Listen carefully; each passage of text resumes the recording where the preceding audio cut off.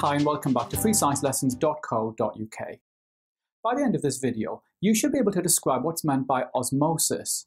You should then be able to describe the effects of osmosis on animal and plant cells. In the last couple of videos, we've looked at diffusion.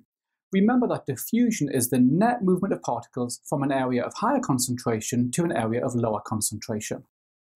So in this cell, we can see a higher concentration of oxygen outside the cell than inside.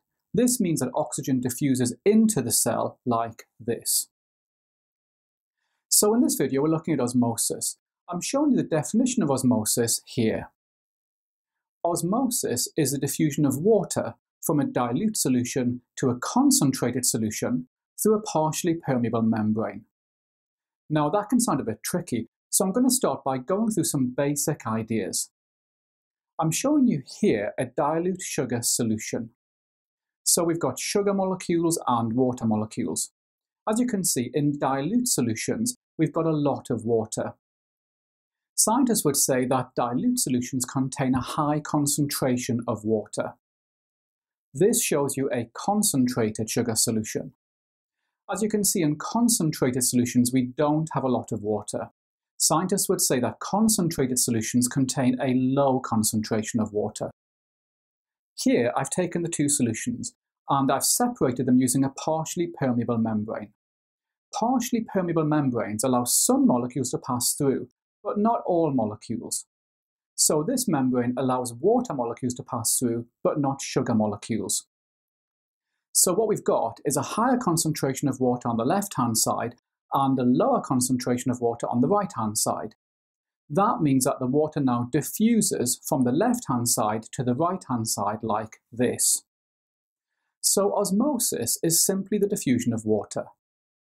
Now osmosis can have major effects on cells, so let's look at that now.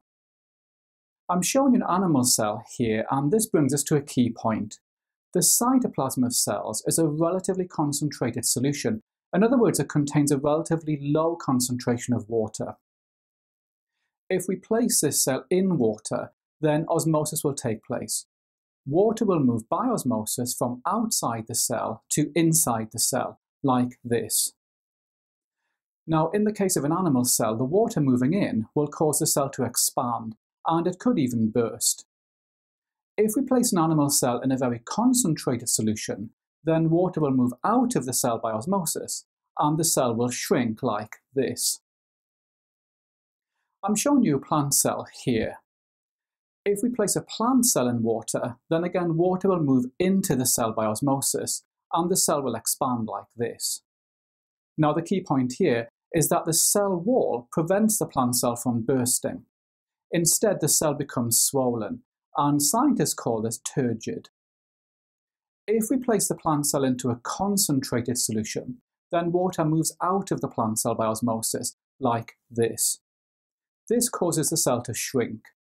Scientists say that the cell has become flaccid.